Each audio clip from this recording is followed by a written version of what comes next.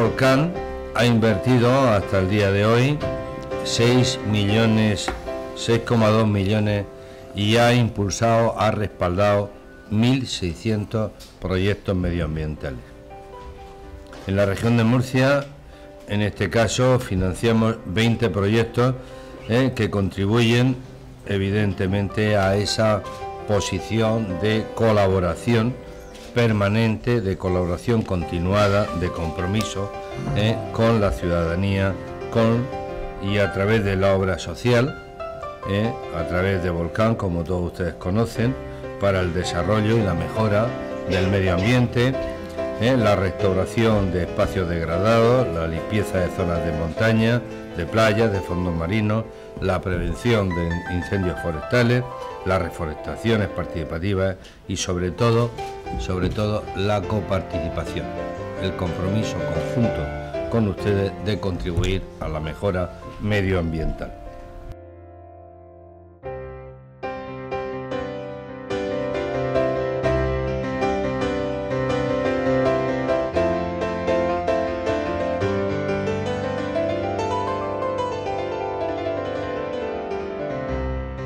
Voluntariado en el Palmeral de Orihuela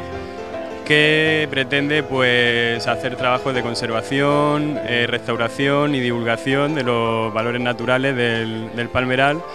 pues con un grupo voluntario de unas 16 personas que desarrollaremos pues eh, hasta el mes de octubre.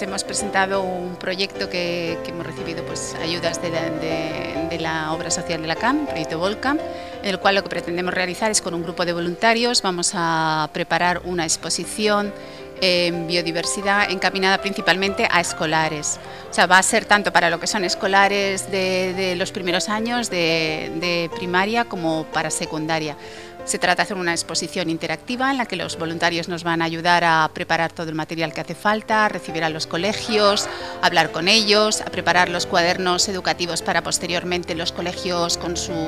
cada uno con su profesor, los chavales que nos hayan visitado puedan hacer el seguimiento y no quede solamente en una visita y ya está, sino que haya un trabajo más, más, más tarde. Y, bueno, pues ese es un poquito el proyecto, nada más. Y agradecer a, la obra social de la CAM eh, que nos hayan tenido en cuenta y nos hayan concedido esta ayuda que posibilita el poder llevar a cabo el proyecto.